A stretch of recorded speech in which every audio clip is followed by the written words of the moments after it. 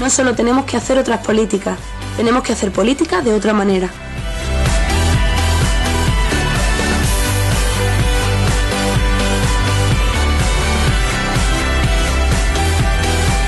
Convirtamos en leyes las justas reivindicaciones de la calle. Un pie en las instituciones, mil pies en las calles. Para todo eso, contad conmigo.